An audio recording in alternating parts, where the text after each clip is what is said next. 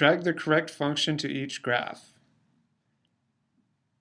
Okay, so I can see here we have absolute value functions, and we're going to be looking at translations, and we're also going to be looking at stretches.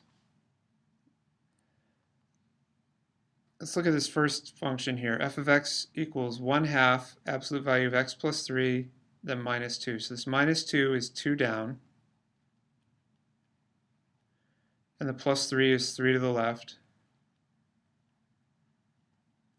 And the 1 half, that is a vertical shrink by 2. In other words, you're scrunching the graph. If you would imagining just taking your hands, one on the top and one on the bottom of the graph, and then squishing it down so it's half as tall, if you will, or half as steep. That's what we're doing. So let's see if we can find that graph. I'm going to use process of elimination. Shrink by 2 means it's going to be a lot flatter and wider.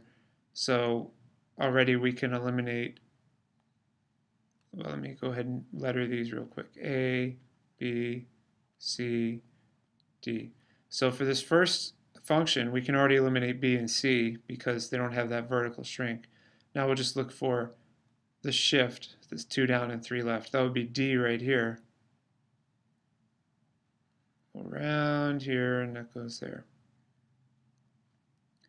This next one, the same vertical shrink by a factor of 2, and it's 3 to the right and 2 down. So that would be this first one here.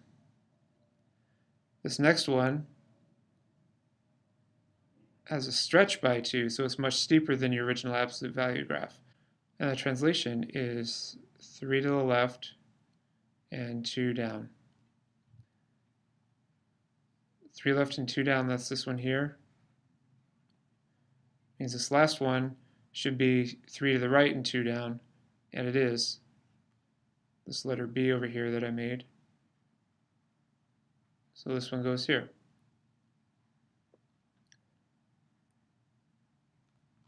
Okay, so when matching these graphs, I looked at the vertical stretch or shrink.